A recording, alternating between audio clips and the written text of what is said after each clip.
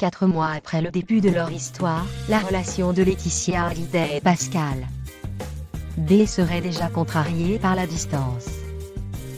Une décision devrait être prise.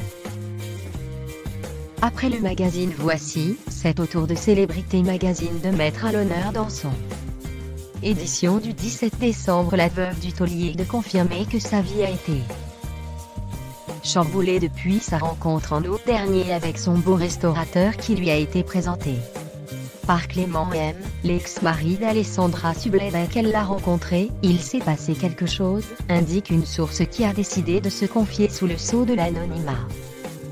Quelque chose de fort, d'indescriptible, la magie de l'amour naissant, qui les rend désormais inséparables, glisse ensuite la publication. Mais la distance risquerait de compliquer leur vie. Si Laetitia Hallyday n'envisage pas de quitter l'Orange, où ses filles sont scolarisées, son fiancé ne risquerait pas de faire un effet un effort non plus et pour cause. Toutes ces activités se trouvent à Paris.